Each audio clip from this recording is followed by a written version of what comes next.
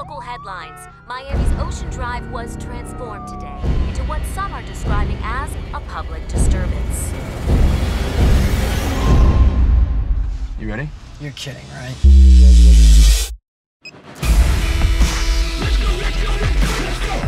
The question on everyone's mind is Who is the mob?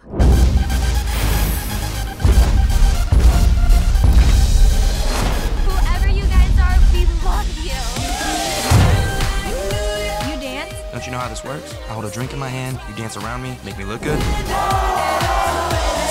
What are you doing tomorrow night? Didn't you ever want to be a part of something different? Something special? The mob is our way to shout. It's like us saying, listen up. We exist. I want in. She dance very well. For a gringa. She's dancing lead. Consider it your initiation.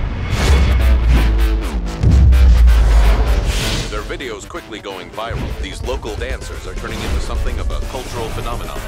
20,000 hits in under five hours.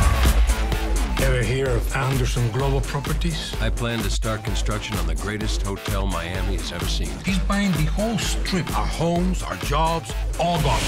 We need to stop him. Enough with performance art. It's time for protest art. Can change things.